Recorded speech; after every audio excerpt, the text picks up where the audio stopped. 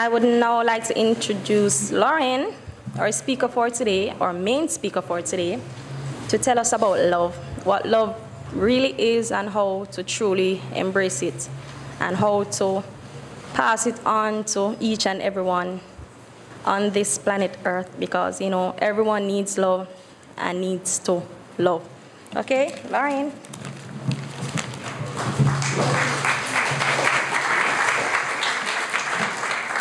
Thank you, Renee. Good morning, my temple family. And a very special welcome to our guests from Colorado. It's lovely to have you. I would also like to extend my words of welcome to those who are listening on the World Wide Web. It is with great gratitude and humility I give this talk to such a fabulous congregation. The theme for today's service is love. On this Youth Sunday, I have the pleasure of sharing the podium with three young adults. They are, they are our own Ifa-Shani and Chevrolet, and one of our special guests from Colorado, Addison, will also share on the podium. I'm going to ask them just to come up one after the other. Um, and I'll kick it off with Aifa Shani. Ifa, could you please come to the podium?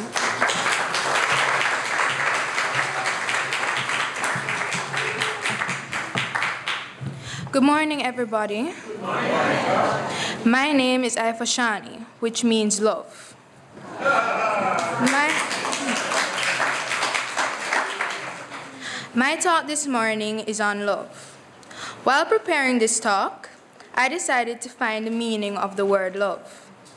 Out of the many definitions I found, the one that made the most sense to me says, quote, love is a strong feeling of affection for a person or thing, unquote. This is as per the definition of the Merriam-Webster Dictionary. Love is powerful and important in our everyday lives. We show Show love with every smile, hug, and laugh we share with each other.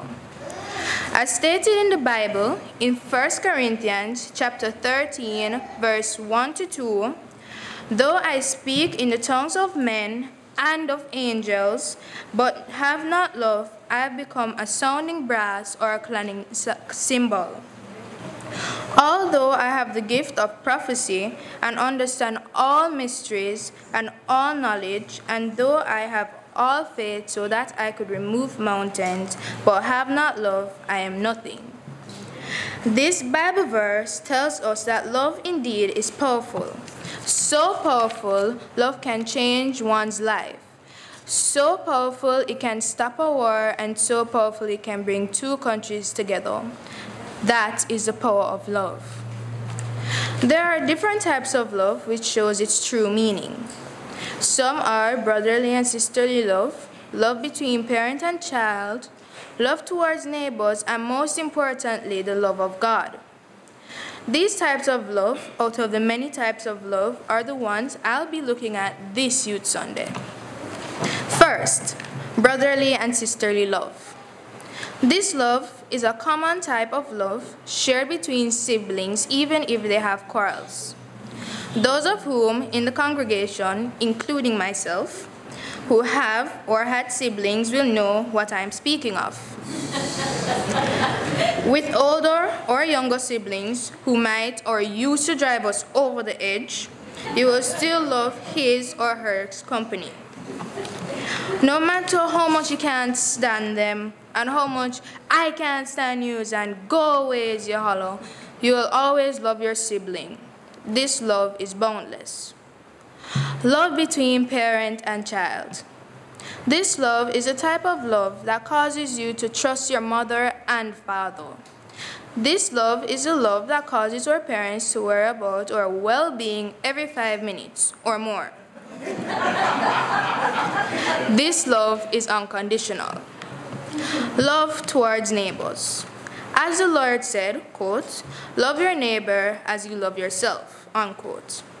Loving your neighbor covers both loving your friend and foe. This love is the love you show by helping or forgiving.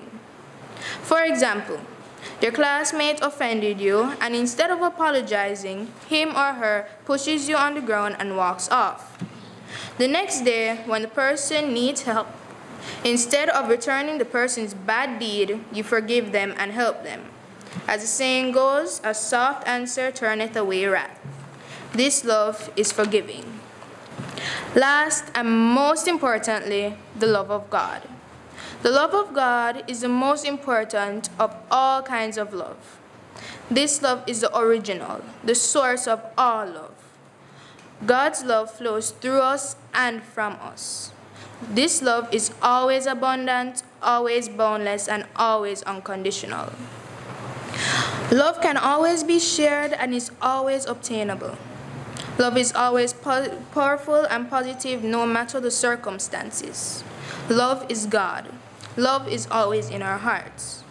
And because of this, make a promise that you will always share and spread the love of God. So please repeat after me.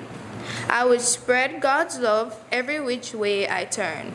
I will spread God's love every which way I turn. This morning, I leave you with the boundless love of God.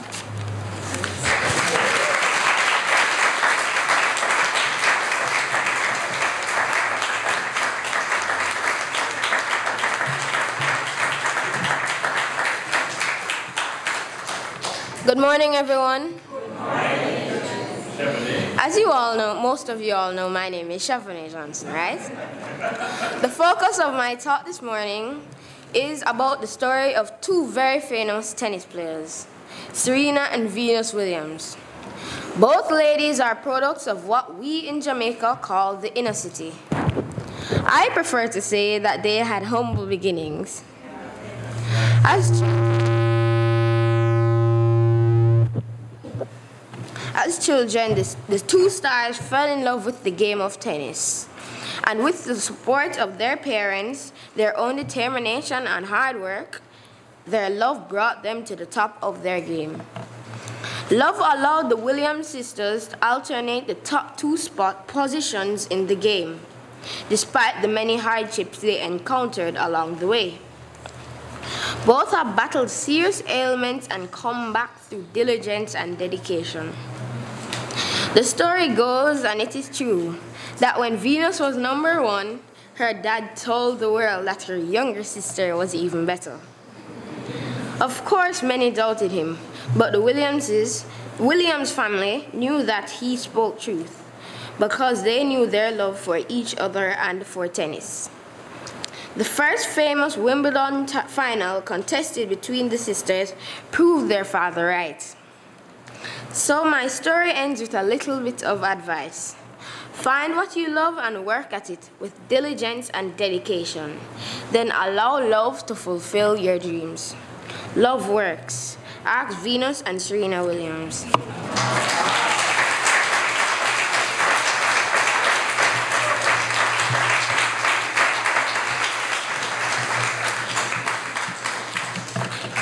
Good morning. My name is Addison. I'm traveling with the Colorado group, but I came from Portland, Oregon. And um, what I think most people know about love is that which they have learned from experience. At least that's what they know best about it. Because we learn about the power of love from experiencing it firsthand or from seeing how it works for other people around us. So here I am to share with you my own experience with the power of love. I have this vivid memory of sitting with my mother one day in our living room and having a conversation. And I believe I remember it so vividly because she said something that has stuck with me throughout the years. Strangely, I have no idea what we were talking about. but I positively remember that I said something along the lines of, well, nobody's perfect. And without missing a beat, because she never does, she came back with, I don't believe that. And I was astounded, jaw dropped, confused, surprised, and astounded. And it wasn't until after a few minutes of me sitting there with my dumbfounded face that she decided to explain. And she said this I just don't think the universe would waste its time creating some imperfect being, you know? I most certainly did not know. And that was the end of the conversation. But it's always stuck with me, this idea that we are all perfect beings. My subconscious always causing me to involuntarily hear my mother's voice stating her disbelief whenever I heard someone say, nobody is perfect. It is sensible, I suppose, that the universe would not waste its time with imperfect people and that all being products of this great universe, we would all then be perfect beings. But it wasn't until later that I figured that out. So it has now been something like six years since that conversation with my mother, and I think now I actually have something insightful to say about it. and I think she's right. And man, do I hate it when she's right. But she's right, because it doesn't make sense that the perfect people walk into our lives at the perfect time if we are not the perfect people to receive them. And this phenomenon and this phenomenon happens all the time. So, what then if we are all perfect? And that right there is the question, isn't it? If we are all perfect, well, then what? Then we need to start treating ourselves as though we are perfect beings. But first, we need to perceive and see ourselves as a perfect being. Because perfection is not always what we see in the mirror, is it? That, I believe, is because as humans we forget. We forget that we are perfect beings as we are. So, how can we remind ourselves? My simplest answer is this get a better mirror. Your mirror doesn't just have to be a simple mirror. It can be very easily turned into a frame, a frame for a picture of your perfect self. Outline the edges of your mirror with anything that represents perfection to you pictures, poems, affirmations, anything. Put them all up there so that when you come up to look in this mirror, you see yourself surrounded by perfection, and you can perceive yourself and know that you are a part of that perfect reflection. The perfection in you should be recognized and celebrated. Everything it is is what makes you, you, and what a beautiful being you are. Learn to love the beautiful being that you are.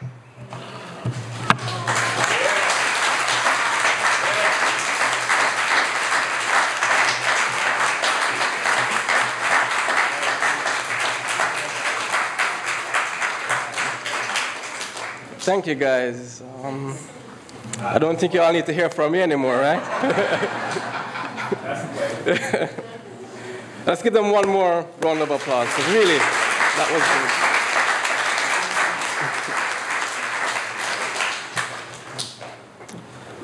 good. Uh, I'll start with last week Sunday was my week with the Sunday school kids. You know, they fascinate me. I mean, I find them brilliant, and I learn from them as much as, well, I hope they learn from me.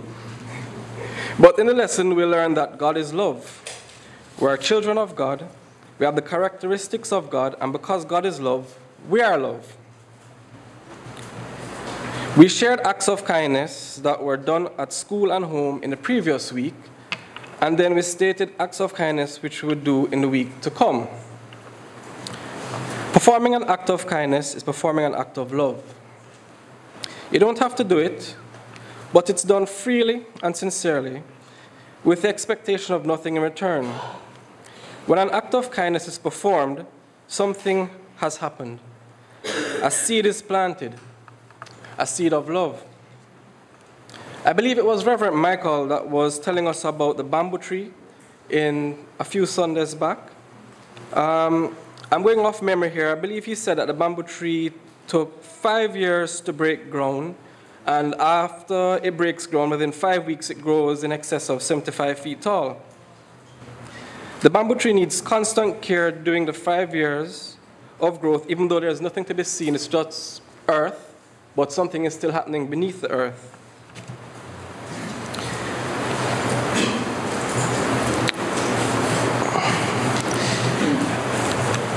Are there any horticultural experts in the house?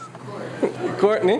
Well, I need to check with Courtney. In my preparation for the topic, um, I discovered that if you want to be a successful gardener, um, you should plant pumpkins. All you need is a seed. It, it requires very little care, and within a few weeks, you have a vine, and then the flowers follow after. Interacting with humans are similar. An act of kindness, a seed of love, will cultivate in a person that receives it. The result may not be visible right away, but a, a transformation will happen. Sometimes we expect the pumpkin effect. Oh, that's not real, I made that up. an, an immediate response in the way that you expect someone to react. But in reality, this doesn't always happen. Um, I'll give an example. You know, you're driving and you give somebody a bly and they don't, you know, toot or show anything. What happens? But Bex, right? For our visitors, that means we're upset. right? But we're all children of God, made of the same substance, but we are individuals. I'm going to share a quote by Abraham Lincoln, which reads I don't like that man, I must get to know him better. Think about it for a moment. Does it resonate with you now? Right? We see people displaying bad attitudes, people who commit crimes, kids who are called problem children, kids who fight. We need to bear in mind that we do not know what people are going through or what they have been through. These conditions affect people's behavior. Some may be holding on by their last string, and their outward behavior is what's keeping them sane. The actions we take could push them over the edge or, oppositely, bring them back to safe ground. Um, I came across this verse, Proverbs 15:4. It reads, "The soothing tongue is a tree of life, but the perverse tongue crushes the spirit." My interpretation of that is, our words and our actions are powerful weapons, and we need to be cautious and careful in how we use it. Or let me use the word responsible in how we use them. In most cases, react to people in the same way they act towards us. We need to see past this and plant a seed of encouragement, a seed of hope, a seed of love.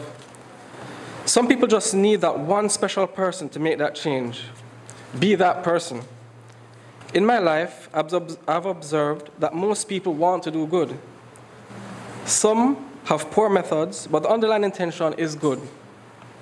Let's not write people off, we should give them the benefit of the doubt. Human behavior is not perfect. We can allow people to have a moment of weakness. As humans, it is easy for us to disregard what we are not similar to, maybe in dress, talk, physical appearance, or the value system that people follow. We see this all over the world in the form of segregation um, and bullying in schools, that's, that's popular. War, wars are begun over this. We have all been guilty of this in some way at some point in our lives. How many people have we misjudged just by looking at the cover of their book, not even glancing on the first page? In New Thought, this can be classified as race consciousness. When I started attending classes at the temple, um, quickly I got the thinking down, but as I pro progressed, I realized that my actions were not backing up my thinking. During the classes, learning about race consciousness more changed my perception of myself. I realized that it may not be other people that had a problem, it could be me. I was, I was looking at things wrong. Um, I'm going to share an experience. I had a contractor. Was real, a real pain to work with. He delivered excellent work, however, but he was really challenging to work with. He always had an excuse. He was always miserable. He was unfriendly. He didn't take talking from anybody. He was, for the most part, missing in action whenever you really needed him. I dreaded having to use him to deliver on my projects, even though he was the best at what he did. I'd even stopped using him for a while. But alas, the day came when I needed, him, I needed that job to be done perfectly. I needed his talent. Armed with my newfound knowledge, I took a different approach in dealing with him. I would typically call to schedule services with him, but instead decided to meet face to face. I got to know him better. Can I tell you? Right now, he's one of the nicest guys you'll ever meet. Right? Loyal to a fault, really good guy. At that point in time, however, he was going through a lot with his family, and he didn't even have somewhere to live stable. his full focus was not on work or anything else. He was thinking about his basic needs just simple survival. He had serious stuff going on in his life. Putting myself in his shoes, I understood where he was coming from. I understood why his behavior was the way it was, and not everyone can balance everything on their plate. Most times, something has to give. I formed a new bond, and I gave him work wherever I could find it. My communication style with him changed, and the results from him changed. Eventually, his circumstances changed, and now he's a different person than he was a year ago. Remember the quote from Abraham Lincoln in the beginning? I don't like that man. I must get to know him better. After that story, what, what, what do we perceive now? This experience opened my eyes more to how blind we can be when we look on others. I have now stopped seeing people through eyes of judgment, but now eyes of love. We can help lift the fallen just by being someone who understands. We're a part of one universe, one love. We need to look out for our brothers and sisters. After all, we are all children of God. Surprisingly, watching a kung fu movie, I don't know how I picked this up in it, I picked up this quote I share. A place of worship is not for perfect people, but a hospital to help the hurting and lonely. Every person is on a journey. Where they are now is not the finished product. Don't be critical of people by where they are. Instead, look at the potential inside the, the God substance, which is fertile soil. Unlike traditional gardening, the seeds that we plant take root immediately. The result may take time, but the root is there. The root is the important thing. Today, I want to think of our temple of light as a temple of love. And I want to give you all new professions. I want to call you all farmers. farmers who sow seeds of love. Farmers, this week, let's plant as many seeds of love, knowing that the fruits will bear and touch the entire world. It is time for the world to reinvent itself. Let's make it start with the seeds of love we plant today.